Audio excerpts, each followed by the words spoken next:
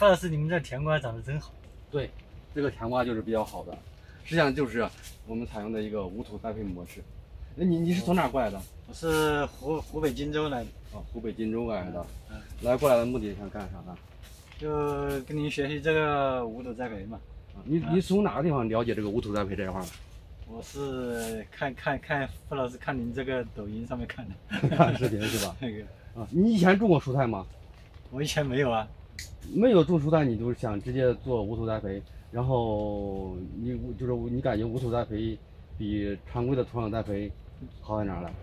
感觉这个品质、质量方面、产量方面都要好啊，口感也好啊。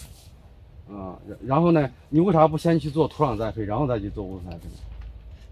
土壤栽培，我们那边好多人都没有做成功嘛，然后都是几百亩、几百亩的荒在那里了，所以说，因为看一下无土栽培比那个好，所以说就过来学无土栽培了。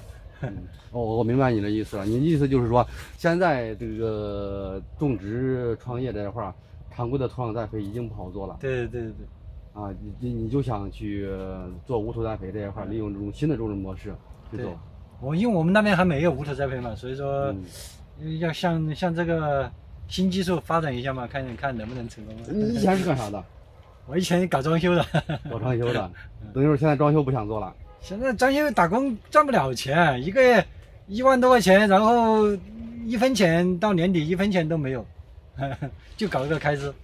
就考看一下，然后就想自己创业，回回老家创业了，还是自己直接去哪个基地去去哪了？就自己回老家创业嘛，回老家创业自己回老家看一下试一下嘛，哦。那回去又准备种种啥作物呢？种草莓啊，种番茄啊，啊，没有种种种西瓜啊，嗯，啊。